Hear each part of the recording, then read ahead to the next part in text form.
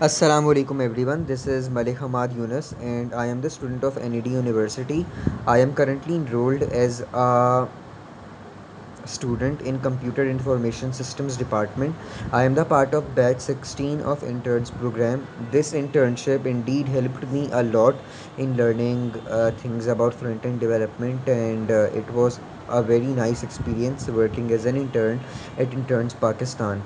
The topic which I chose for my WordPress project is that of a bakery. So I have made a bakery website and I have named it Malick Bakers this is the front page of my website. I have basically given a small kind of introduction in the beginning.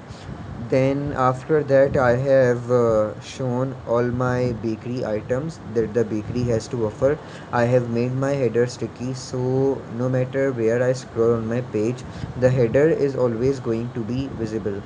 These are all my bakery products which i have added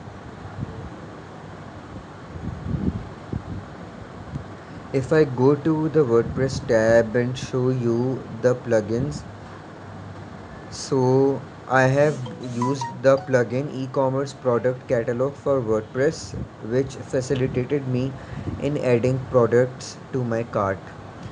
Other than that if I go to the pages so there is only one page in my website and I have named it about us and that is my front page so that is all from my side. Thank you so much